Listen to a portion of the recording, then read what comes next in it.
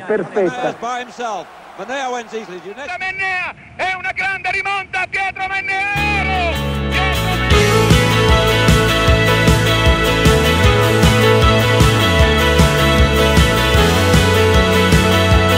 La data del 12 settembre è una data memorabile in quanto Pietro Mennea in quell'occasione fece non solo il record del mondo su 200 metri, ma stabilì uno dei record più longevi nel mondo dell'atletica. Sicuramente per ricordare un grandissimo uomo dello sport, dello sport italiano tutto, il mondo sportivo universitario torinese si è voluto schierare in tutti i suoi frangenti utilizzando tutte le sue eccellenze perché oggi si festeggiava non solo l'uomo ma davvero lo sport italiano nei valori e in quello che può essere utile a un giovane per il domani.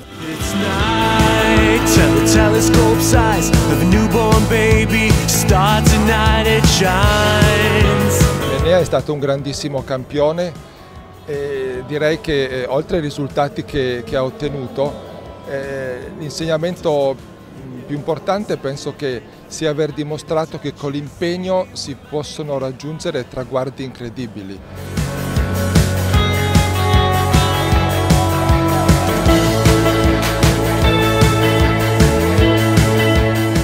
La prima cosa che le viene in mente se dico Pietro Mennea?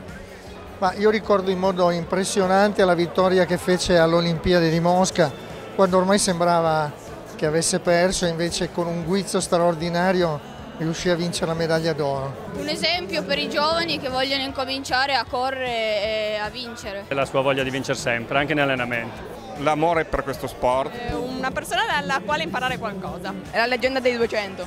Atletica. Velocissimo. È stato il mio portabandiera alle Olimpiadi di Seul. Era contestatissimo ma poi alla fine è stato accettato da tutti e prima di entrare in campo per fare la sfilata di apertura tutti gli sport e tutti i partecipanti urlavano Pietro, Pietro.